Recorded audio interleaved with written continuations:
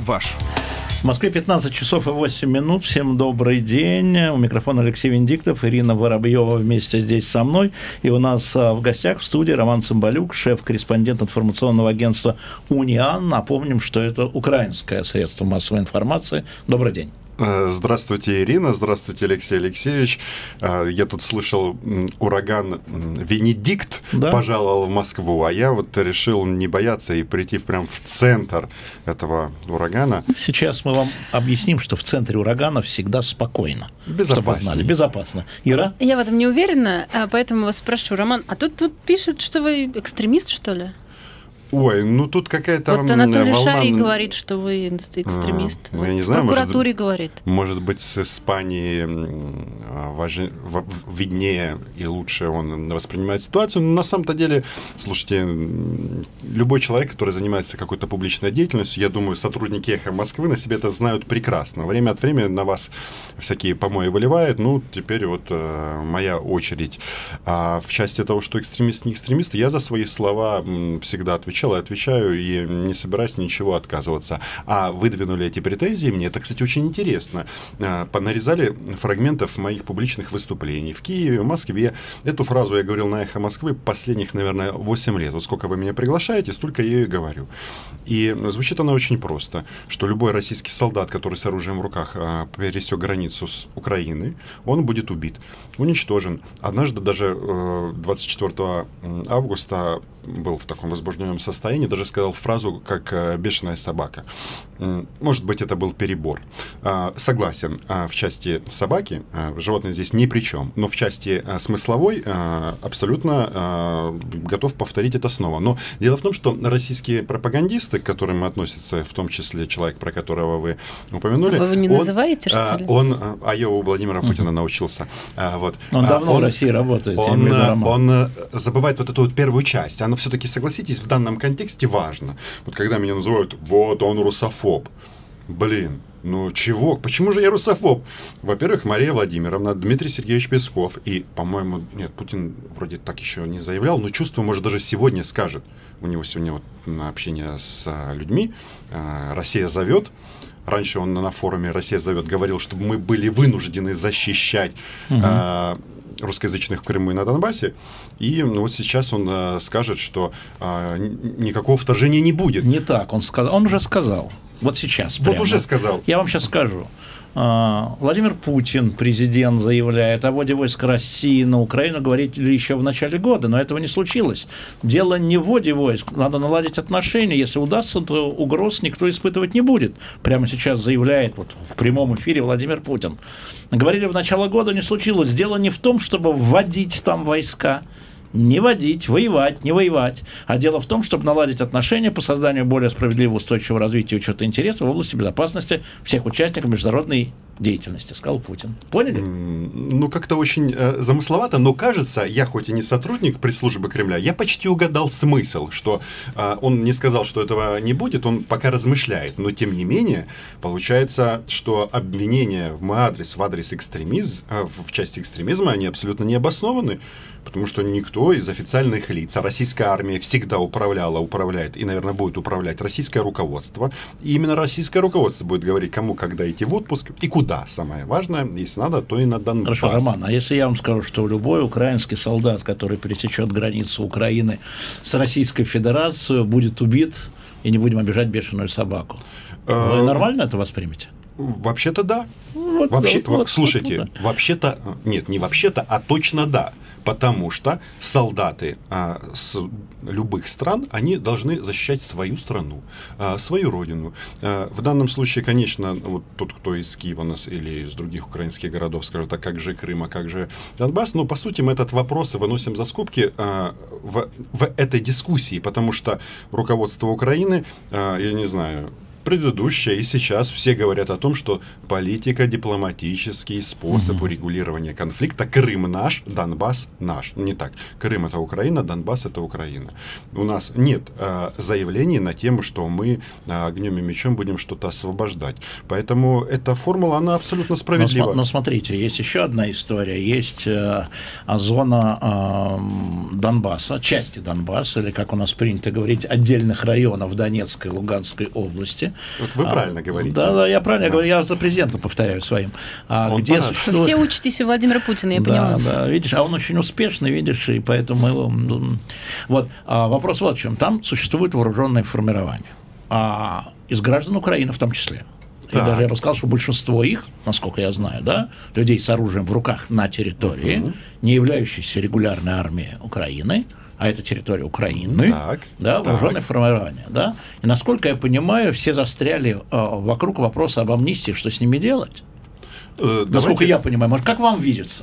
Слушайте, я вообще не боюсь слова амнистия. Вы вот, кстати, очень сейчас тонко прошли, потому что вот э, обычно однажды вы даже э, в этом контексте сказали, что у нас гражданская война, а я, ну сейчас вы этого не сделали, а я бы вам, конечно, бы пропонировал. Ну, я вам бы. его могу еще раз это повторить, Ага. потому что вы человек молодой и не учились в школе по советским учебникам, где события 1918-20 годов, 1918-20 годов, гражданская война и иностранная интервенция. То есть был и то, и другое.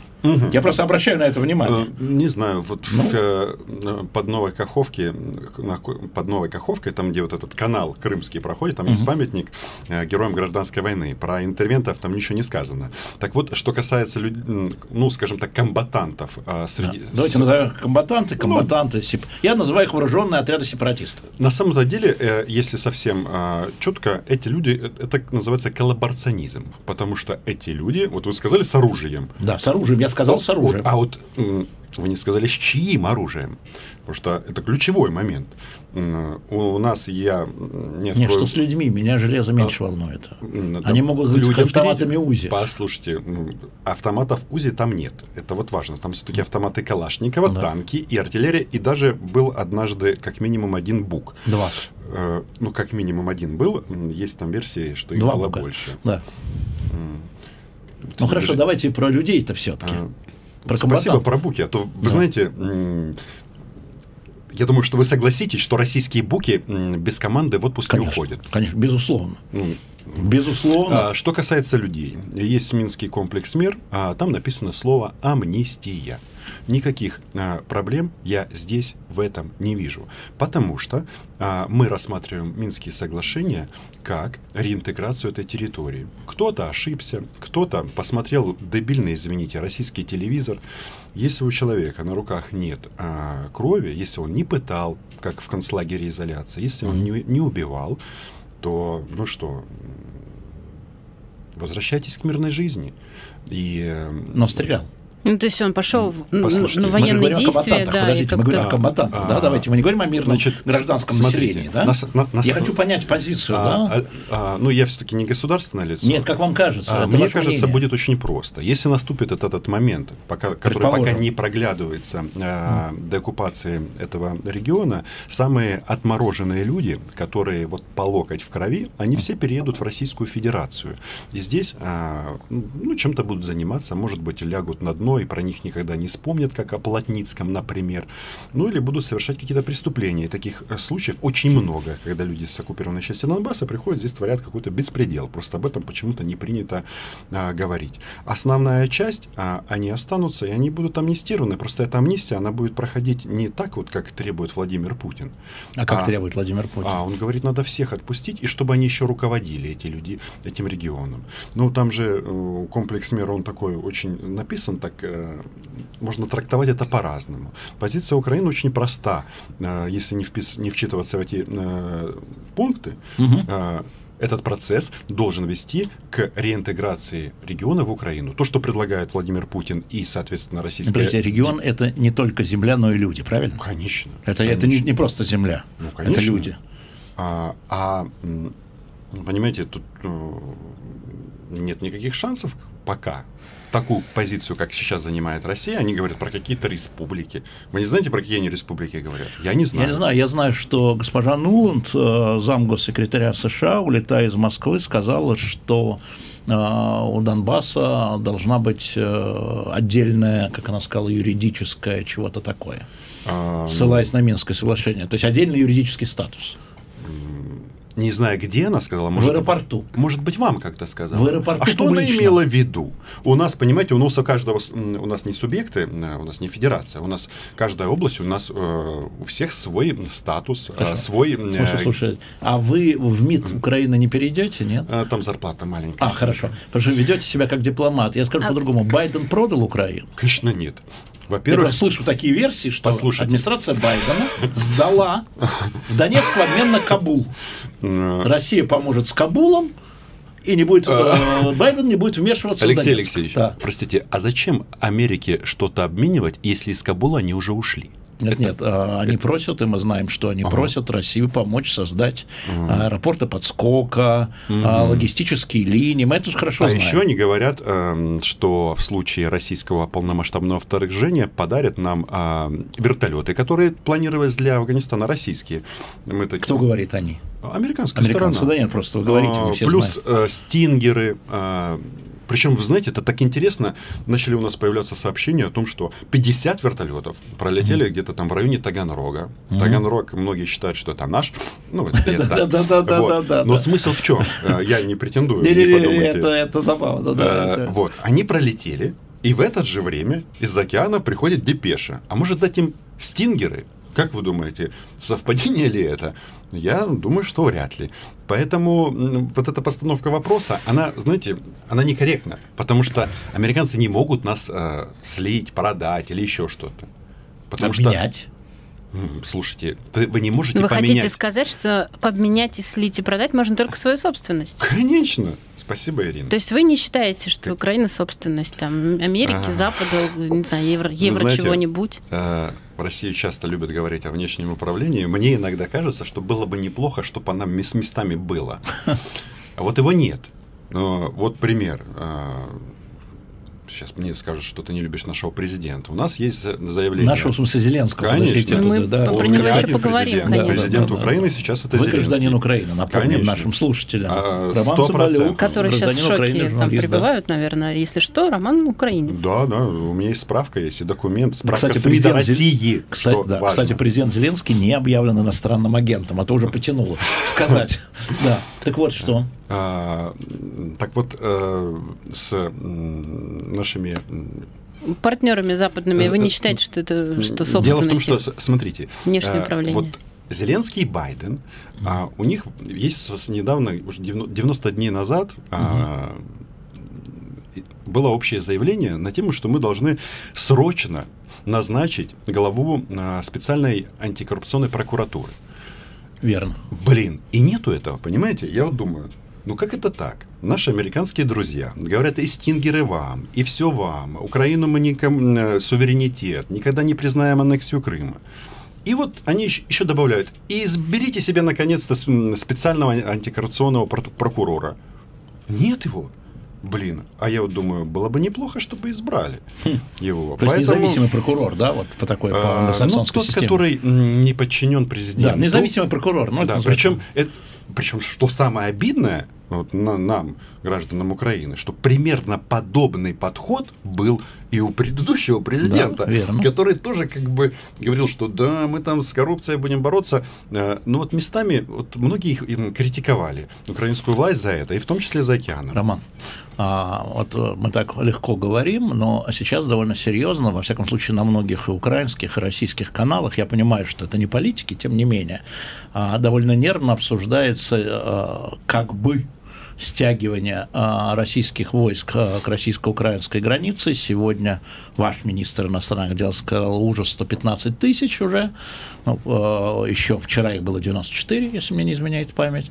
Вот вы за этим наблюдаете не из Киева, а из Москвы. Чего вам понятно в этой истории, чего вам непонятно?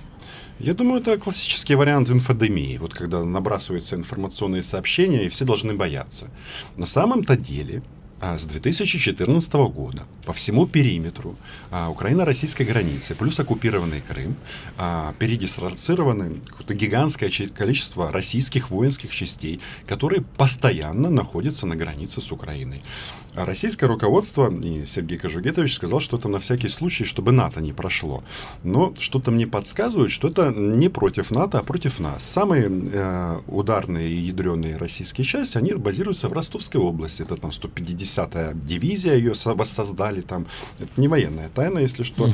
Там 8-я армия. И вот, кстати, вот, под, вот этим подразделением, которые я перечислил, им и подчиняются российские группировки на оккупированной части Донбасса. Ну и там дальше мы идем вот туда вот вверх, нет, сначала вниз, Крым, сколько там было развернуто воинских частей э, на оккупированной части. И, соответственно, дальше, э, что у нас там? Э, Воронежская область, Смоленская, э, Брянская и еще одна там вот возле Харькова. Сейчас... Mm. Белгородская область, mm. вот там вот э, на постоянной основе базируются различные воинские подразделения, и там и танки, и артиллерия, короче, там есть все. И по сути, э, вот эта угроза, она, она никуда не девалась. Поэтому живите спокойно, чистите пулеметы, тот, кто должен это делать. Я говорю об украинских военных. Учитесь стрелять с танков метко. А, а граждане должны платить налоги, военно-промышленный комплекс должны ставить на все танки приборы ночного видения. А, по-моему, это они уже сделали. То есть тут уже все хорошо. Ну, то есть это что? Это политическое давление на сегодняшний день? Для а, чего-то. Для чего мы не видим, но для чего-то, да? Ну, С вашей точки зрения. Мне кажется, все, извините, по Путину. Тут у вас, эм, в отличие от нас, все четко.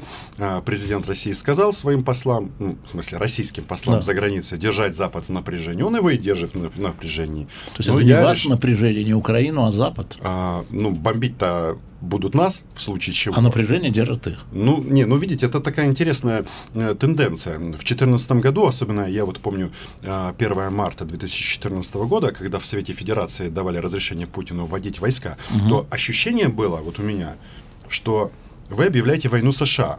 Ну а бомбить и долбить из артиллерии из Ростовской области начали по нам. Поэтому нам тут надо быть очень... Но вы же понимаете, что Путин, а, я думаю, что вы это знаете, как журналист аккредитованный там, при Владимире Владимировиче, в том числе. Примит Россия, извините. Да-да-да, при Сергее Викторовиче, вот он сейчас тоже выступает и говорит, как а, подтягивается техника НАТО в Донбассе. Вот, сейчас прям говорит. Да-да-да, он говорит, цитирую Лаврова, при котором вы аккредитованы, поближе к нашим границам перебрасываются значительные подразделения, боевая техника стран НАТО, включая американскую и британскую.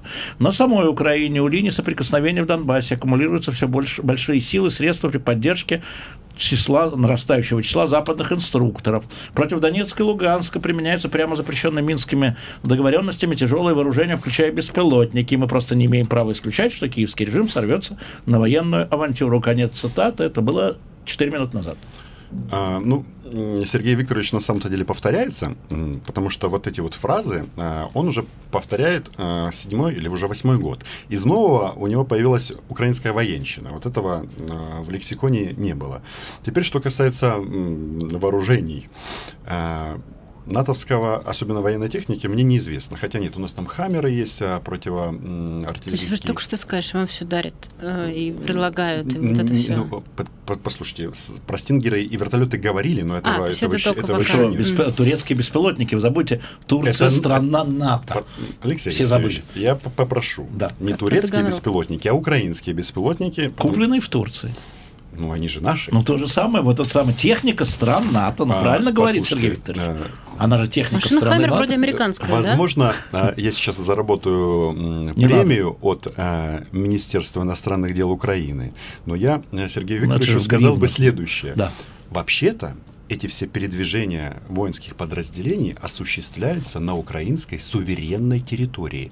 Это наш дом, мы никуда не наступаем, не отступаем, мы там живем. До побачення. Подождите, а вот то, что вы сейчас рассказывали про офигеет. российские военные, которые вот всю, всю дорогу Мгм. там, да, в с- столько лет, они же тоже находятся на территории своей страны. Мгм. Что хотят, то и делают. Где хотят, там и ставят в- в военных танки и что угодно. В чем тогда здесь разница? Вдоль границы с навер- Украиной. Имеется в Наверное, виду раз- Донбасс, да. разница в прецеденте. Я Мгм. правильно это слово сказал? Да. Прецеденте. Да. Э, Да. Потому что вот были случаи не так давно, когда общепризнанную мировым сообществом границу российская армия перешла. Поэтому все настолько а, переживают и боятся. Я не думаю, что кто-то а, в трезвом уме, а, российскую пропаганду мы сейчас не рассматриваем, может предположить, что украинская армия перейдет границу России для того, чтобы что? Бомбить Воронеж? Это ваша прерогатива. Ну и Мгм. тем более вы, я вот начал, возвращаясь к началу нашего разговора про бешеных собак. Это правило, оно действительно распространяется на всех, на всех а, оккупантов. Мы же не оккупанты, в отличие от некоторых. Я все-таки хотел бы понять, насколько вы а, серьезно считаете возможным, что а, в нынешней внутриполитической истории, украинской, мы ее плохо знаем, а вот то, о чем говорит Лавров, но не в таких словах, да, на том, что силовое решение, а, как вы сказали, реинтеграции вот этих районов мятежных, давайте назовем их так, где находятся, как вы говорите, российские, российское вооружение. Насколько, насколько вы считаете, что нынешнее политически киевское руководство готово на это как тут э, сорвется? сорвется? А, ну, Алексей Я читаю за министром. а, Сорвется. а, ну, здесь вы уже можете получить грамоту от российского МИДа, потому что когда Мы потом о- поменяемся. о, еще, о да. мятежных регионах. Значит, на самом-то деле я такую опцию исключаю. Во-первых, а, нам неоднократно говорили, что попытка освободить вооруженным путем а, Донбасс закончится а, ликвидацией украинской государственности. Это я цитирую Владимира Путина, который отвечал на вопрос а, депутата Госдумы уже нет, Евгения Прилепина, Да. а, когда он находился в Донецке. Ну, так То есть вы предпочитаете получить грамоту от Путина.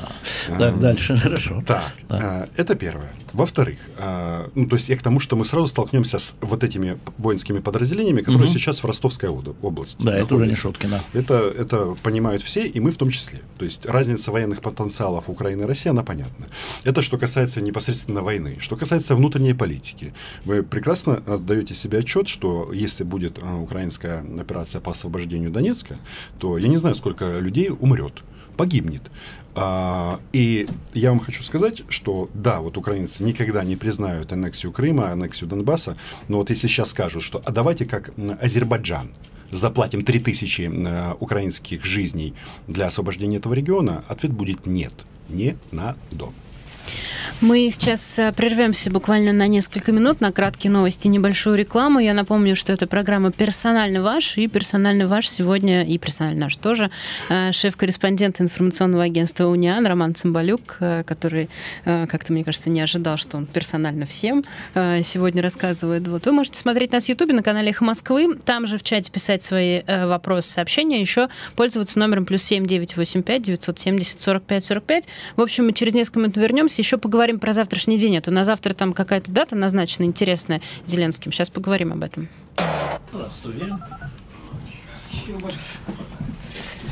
Да, удачно, конечно, Путин сказал про переизбрание прям ровно за минуту до начала новостей. А я просто не увидел. Да, это вы уже просто... Ну, он ничего, Да, слушай, да. ну, он всегда Ни- говорит. ни- Ничего он не сказал. Ну, это самом слова говорит, а тебе это зачем? Придет время, я скажу.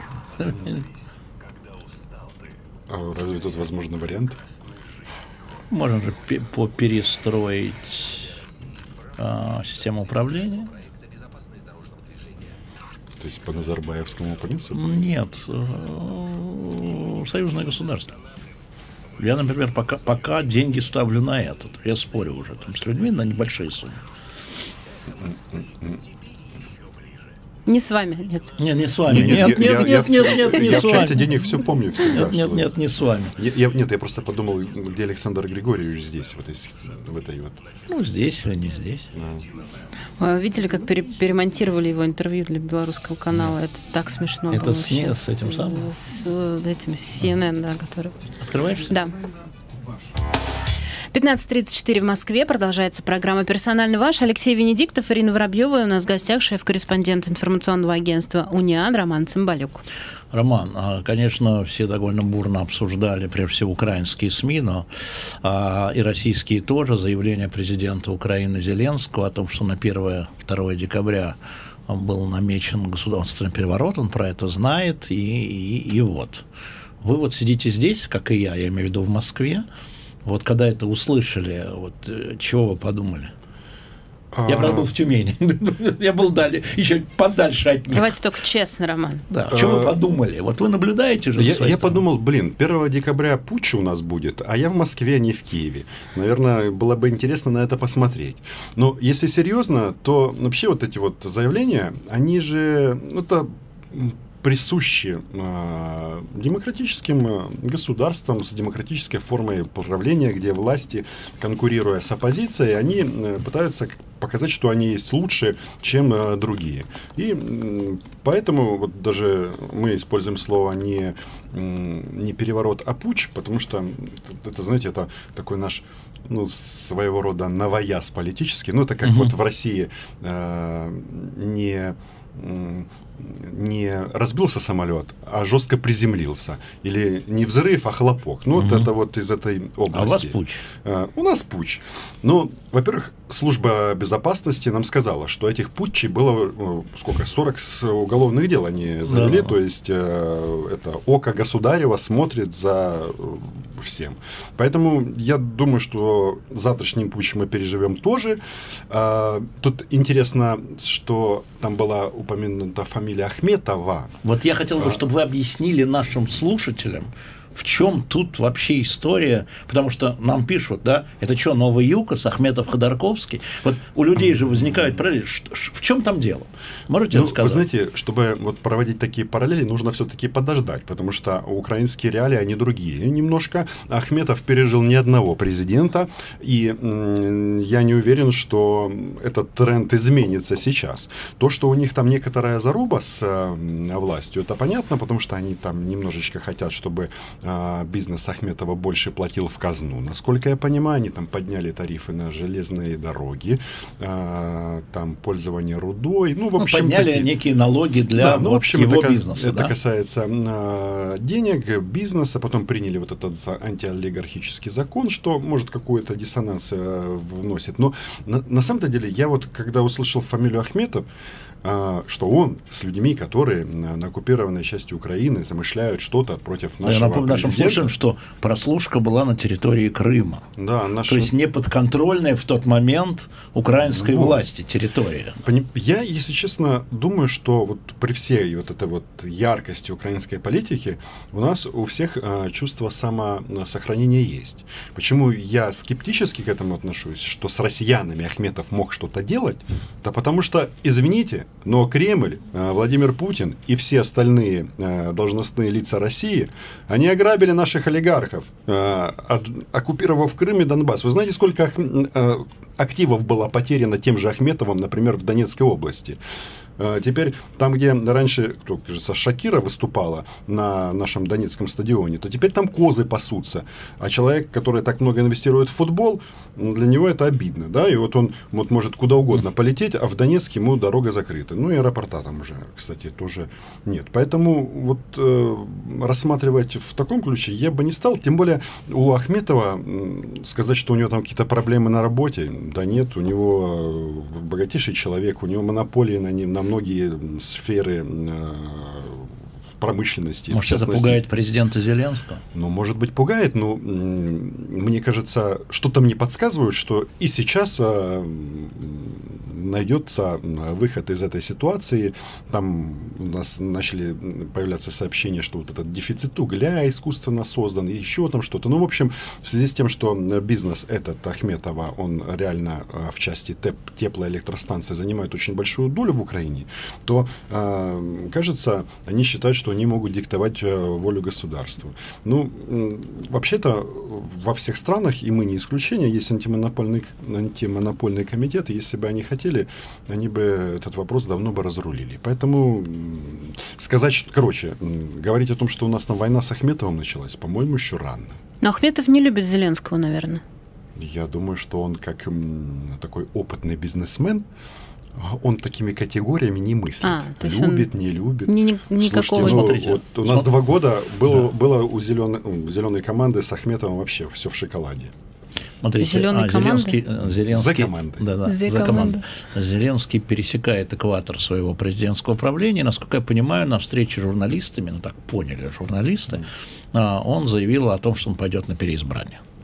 Вот эта пятичас- пятичасовая встреча с журналистами, да, такая своеобразная, я бы сказал, но поскольку она была на украинском языке, я, конечно, не- Ну почему же? Владимир Александрович э, местами переходил на русский. не местами, это надо прокручивать, я так не умею. Да. Да, но, Вот. те- но тем не менее, я так понял, что э, это что значит, что он считает, что он успешен, или что он считает, что он, э, так же как Путин, еще не выполнил свои миссии. И поэтому надо Интересное продолжать. сравнение, конечно. Ну, я думаю, что Владимир Александрович на самом-то деле он просто почувствовал вкус власти. Потому что, чтобы вот у нас там не говорили, там, внешнее управление, еще какое-то, оно у нас, а, у нас по сути, а, Владимир Зеленский, он полноправный руководитель государства. И хоть у нас парламентско-президентская форма правления по Конституции де-факто, у нас всеми вопросами рулит президент и, ну, и его офис. Или его офис и президент. Есть э, разные мнения по этому поводу. И информация о том, что пойдет он на второй срок, она же становится доступной это не первый раз. Они уже дали понять, что там нормально э, и интересно, может быть, даже интереснее, чем на предыдущей работе Владимира Александровича. Ну, видите, у нас же не так, как у вас. Вот, вот Путин сказал, что он может баллотироваться. И все прекрасно знают, что если он захочет, э, и у него будет позволять э, его настроение, он не только будет баллотироваться, он еще и победит. Это Россия. А у нас, извините, фиг его знает, что там будет через два с половиной года. Потому что для То России... никакой стабильности у вас Да вообще нет. просто. Я не знаю, как мы живем, потому что... Ну, странная страна, не знает, кто у них следующий президент. В, в российском, м, вот в российских политических циклах два с половиной года, вот особенно сейчас, ну это ничего. Для нас два с половиной года это просто целая жизнь. Может измениться вообще все что угодно произойти за это время. А, вот смотрите, ам, вот ам, такое впечатление, да, что история вокруг Донецка, ну, отдельных областей Донецкой и Луганской областей Украины, как говорит Путин, Украины, да, так говорит Путин, вот она все-таки превратилась в такую абсолютно замороженную историю. Вот я наблюдаю за главными игроками, да, понятно, там украинское руководство, российское, французское, немецкое, американское, и э, я так понимаю, что все ходят хороводом, а вот э, никаких продвижений нет, и все это как-то замерзает, да, там люди как-то привыкают так жить в этой зоне без власти, скажем Ну так. почему же без власти? Ну, без власти. Это Мы зон- видим там партизанские отряды, которые друг с это- другом воюют, Это, да? ну, это русский мир. Да, да, да, Это да. Ну, так, такая зона есть, да, как хотите его называйте, но э, тем не менее, вот, ну, это какая-то история, знаете, такая превращающаяся. И, как я понимаю, это то, что было в Карабахе. И, как я понимаю, потом оно раз в Карабахе. И начало развиваться совершенно неожиданно. Я могу ну, сравнить, или мое сравнение некорректно, с вашей знаете, точки зрения? Оно, наверное, можно сравнивать о том, что оно действительно может вот так вот замереть на некоторое время. Это можно э, об этом говорить, но проводить параллели с э, войной Азербайджана и Армении не стоит, потому что там совсем все по-другому. А, И видите, если а, приходит Азербайджан, а Армения уходит, то и люди меняются. То в Донецке ни- никто не выезжает. Ну, скажем так, там Ну, нету... 2 миллиона Нет, перемещенных нет, лиц. ну. Я, нет, я, послушайте, э, я должен уточнить э, свою мысль. Не- люди не уезжают из-за смены власти. Им- то есть они уезжают от того, что там жить невозможно. То есть, а, если завтра туда возвращается Украина, они же там и останутся. Их, им не надо будет э, основной массе бежать э, в Российскую Федерацию. Э, Вот. А почему оно замерзает? Потому что нет возможности подвинуть по этому конфликту Российскую Федерацию. И, и мы тоже не подвинемся, потому что нам двигаться уже некуда. Поэтому, ну что, будет так, как оно есть. И если вы проводите параллели, то, очевидно, десятилетия будут, будет следующая ситуация, когда выкопаны глубокие окопы, постоянно стоят где-то рядышком заправленные танки, рядом стоят боеприпасы, патроны и так далее, и так далее. Какой-то восточный Берлин и западный. Стена ну, а что, а какая-то что, с а что, а что 61 нам года. остается делать? Нет, это вопрос. Ну, а что, мы, мы защищаемся, у нас других опций нету. Понимаете, вот опять же, включаешь российское государственное телевидение, они говорят, что мы будем вас бомбить. А зачем вы включаете? Вот, Мы не а, включаем. извините, А, меня это к вам интересно, по, по этому интересно. поводу вопрос. Вот вы, вы в Мгм. первой части там сказали про э, российскую пропаганду, российские телевизоры. Некоторые наши слушатели, и я тоже заметили, что вы так прям только про российскую. А что, украинской пропаганды не существует? А что, вот этих сюжетов, э, что Россия э, главное зло, их там нет у вас? У вас нет пропаганды? в таком... у нас, может быть, и есть пропаганда здоро- здоровой страны. Но, во-первых, мы... Здоровый, пропаганда здорового человека. Нет, понимаешь, послушайте. э, свои э, разведчики, чужие шпионы.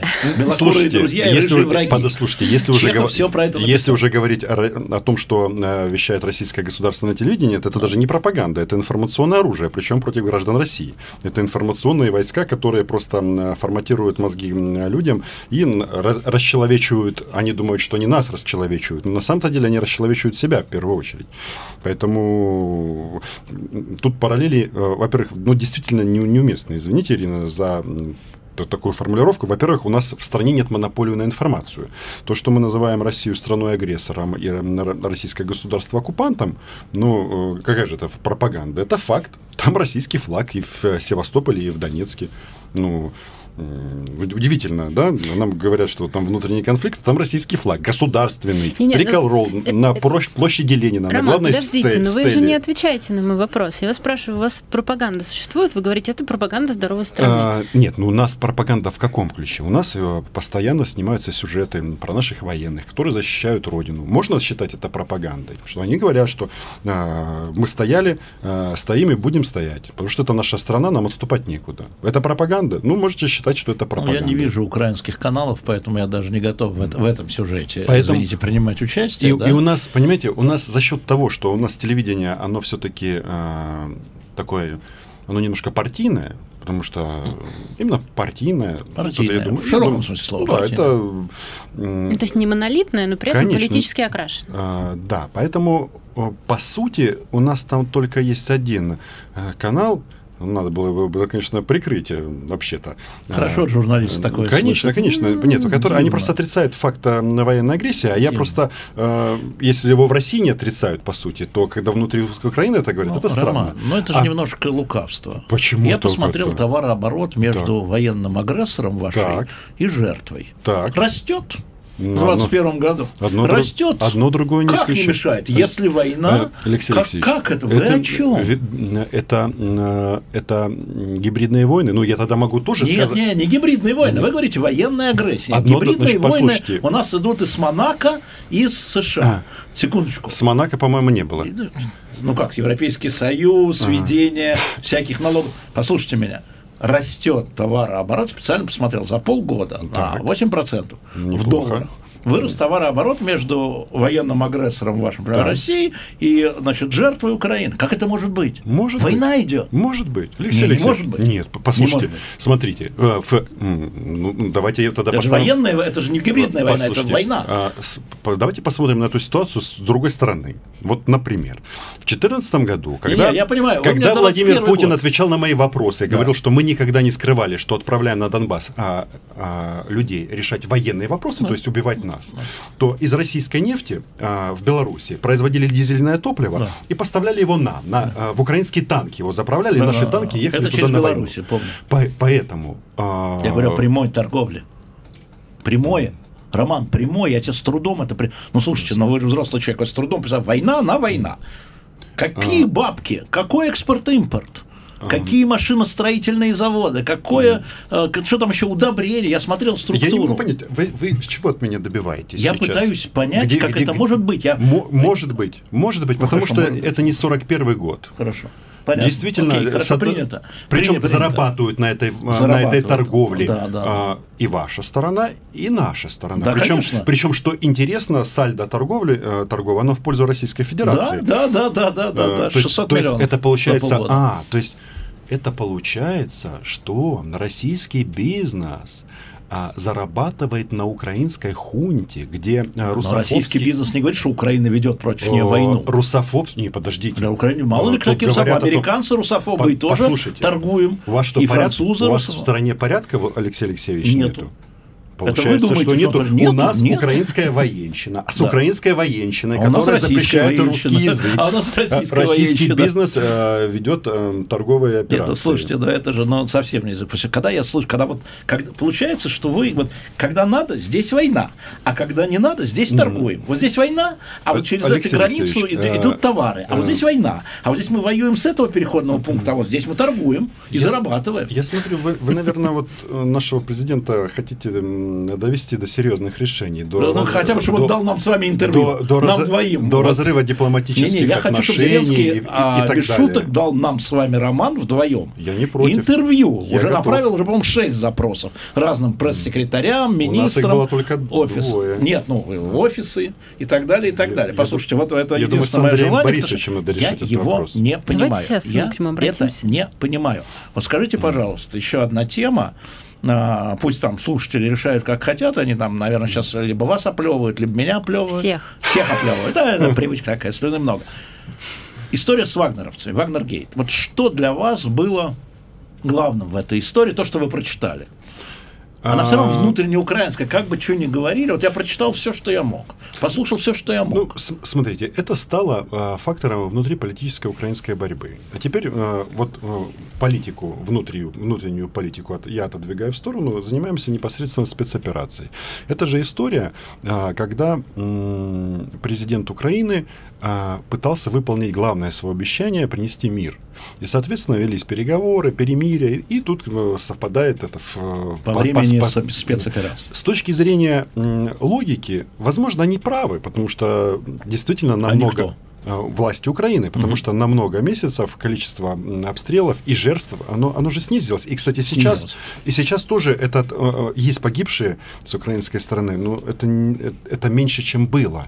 Поэтому здесь логика есть. Ну, просто я не знаю, почему э, Зеленский и команда, они приняли такое решение. Вообще-то он у нас верховный главнокомандующий, и он руководитель э, спецслужб, которые это все проводили. Надо, когда начала э, пропа- про- выходить эта информация, когда стало понятно, что может быть скандал, должен был выйти человек, уполномоченный, и сказать, «А, мы приняли такое решение, потому что я верховный главнокомандующий. Точка. И э, сколько бы ни говорили, что у нас там хунта или еще что-то, у нас военные, они подчинены президенту. А Зеленский, он не актер, он, еще раз, он президент государства. И было бы совсем все по-другому. А они сначала начали отрицать, говорить, что ничего не было. Сейчас это набрало таких оборотов, просто каких-то непонятных. Оно уже стало, вот я повторюсь, э, фактором э, внутренней политики. Почему-то а, каналы Ахметова начали эту тему просто разжигать, с таку- разгонять с такой темой, что вот зрада, зрада. Э, Зрада. Зрада позор, это да? что? э, Извините, пр- предательство, да. А, предательство. Э, Я так думаю, что э, если бы э, офис президента они лучше коммуницировали и убедили общество, потому что им забрасывают и называют фа- фамилии конкретных людей, которые якобы являются шпионами Кремля. Тут надо этих людей или передвинуть, отправить их послом, я не знаю, в Беларусь, например. Э, ну, варианты есть как бы всегда. Э, В Россию, например, наконец-то можно посла отправить. Владимир Владимирович предлагал. там Да, чет- слышал я. да. Вот, но мы отказались. М, Должность вакантная. В общем, стран много. Короче, э, то есть, мне кажется, тут просто можно было этот скандал грандиозный, который он сейчас, можно было купировать ранее. Но и даже то, что Зеленский говорил о том, что это действительно опасно, ну, согласитесь, посадить самолет с российскими боевиками, а, это, причем там люди, они, они сбивали и как минимум два пассажир, один пассажирский, один транспортный украинский самолет, то есть, ну, ну, то есть там вообще от, отпетые подонки, а, преступники и убийцы. И Вы ко- имеете в виду среди тех, кто был Вот- вот, вот- Вагнер- вот- нет, ну, вот- они условные Вагнер, среди тех, кто... кого они собирали? То кого есть они там- собирали. То есть, нет, просто чтобы слушателям было понятно. Конечно, да, то есть то, что украинские спецслужбы мега крутые, они провели вот эту вот операцию, то есть как они это все придумали, как люди начали сами э, докладывать, кого где они убивали, хвастаться этим, прис- при- присылать награды, причем, что особо пикантно, награды, э, подписанные президентом Российской Федерации или кем-то еще из российского руководства, это просто... А вы нам говорите, мятеж, гражданская война. Мятеж, гражданская Ой, война. да, да, да. А, а медали почему-то выдается российским государством. Я не знаю. И Тут, российские по- граждане. Алексей Алексеевич, по-моему, здесь интервенции больше, чем гражданской Возможно. войны. Нет, возможно. Но я хочу сказать, что те люди с оружием, и я это повторяю С много раз, российским оружием. с российским оружием, которое Это в Донецке, важно. десятки тысяч людей – это украинские граждане. Десятки тысяч, 45 тысяч. Так говорит украинская разведка. Алексей Алексеевич, Вооруженных а, людей. коллаборационизм а, 45 явление, м, которое проявляется при любом конфликте. 45 тысяч. Мы большинство амнистируем. Да, я уже слышал, да, и думаю, слышали. Ну, я не несу тут никакого Не, не, я смысла понимаю, да, в, да, в данном я случае. понимаю. А, то есть для вас это сейчас э, внутриполитическое как бы продолжение этой истории, я имею в виду вот этого расследования, да, это внутриполитическая Ну, часть борьбы. В первую очередь. А что, начали президентскую кампанию? Мне иногда уже? кажется, она у нас никогда не заканчивается. А кто у нас кандидаты, кроме Владимира Александровича? А, ну, слушайте, предыдущие все игроки... Все, они- на- новых все- не появилось, нет. Мы не так пристально следим. За кем нам смотреть, кроме Порошенко и Тимошенко? И Медведчука из компании. На Медведчука можете не смотреть. а, Ну, от Медведчука. Я имел в виду от. Мы же не знаем, Бойко кто там, я не помню. Бойко, ну это, это называется кандидат во втором туре подарок для любого Я понимаю, но все-таки соперника. 25%, там 22%. Нет? Нет. Э, в- в- Ну, то есть это точно проигрышная позиция. Да. Хорошо. Но на кого нам смотреть? А, Я думаю, что вот появятся, возможно, новые лица, которые просто заявят о своих м, амбициях президентских. На сегодняшний день я, если честно, из тех, кто вот реально может побороться, это Зеленский, который сохраняет э, все лидерские позиции, и Петро Порошенко. А вот смотрите, а, в Мне прошлом- кажется. на прошлых выборах, извини, я сейчас, я пытаюсь понять, я действительно не понимаю. На прошлых выборах а, картинка была такая. Президент войны Порошенко и кандидат Зеленский президент мира. Ну, будущий президент мира. А сейчас будет какая картинка у президента Зеленского? Я думаю, что они на этом вообще не будут акцентировать внимание, Мгм. Интересно. потому что, ну, они врали все, вот кто обещал мир а, из кандидатов в президенты, они просто все гражданам Украины просто врали, говоря, что мы принесем вам мир. Ну, как они обычно врут, когда говорят, что мы вам сделаем дешевый газ, то тоже вранье. А, Ну, мы Ну да. люди доверчивые, иногда Но мир, война, это Да, кажется все-таки э, немножко другое, ведёмся. чем газ на 10 А, центов. Вполне возможно, что тут надо смотреть просто с- с- в каком состоянии в российско-украинском конфликте мы придем через два года, потому что Мгм. вы же сами знаете, что, э, как вы говорите, у нас внутренний конфликт, но степень этого внутреннего конфликта, я в кавычки это слово беру, Мгм. оно регулируется в Москве. Если завтра надо будет э, э, показать, что то есть смерти на Донбассе это же что? Это называется политическое давление. Мы убиваем ваших солдат, а, тем самым говорим, что вот Зеленский не выполнил свое обещание. Ну, это, это цинично, это страшно, но это так. И это делает российское государство. Или может делать в случае необходимости. Ира? Да, про Зеленского еще хотела спросить тоже. Он же дал тут большую пресс-конференцию. э, Было прям, такое. да, как Путин прям, да? Мне кажется, Владимир часов. Александрович, во-первых, он делает перерывы, поэтому, э, поэтому он, он, он, игр- таких не возникает, Нет, да? он играет дольше, дольше. У него был там 12 плюс марафона, сейчас 5 плюс. Ну, то есть очень, очень неплохо.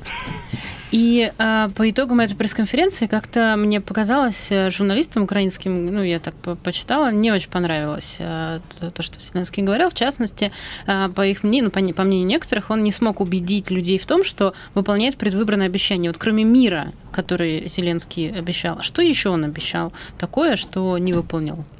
А, ну, на самом-то деле, я бы даже говорил о том, что что они сдел- сделают позитивно, вот, за что, что, видно. То есть это цифровизация государства. Не сделал. Нет, это сделано. М. Плюс вот этот проект «Великое будівництво», то есть действительно, вот я был пару недель назад в Киеве и в Украине ездил, то есть строятся дороги вообще, такой бум просто.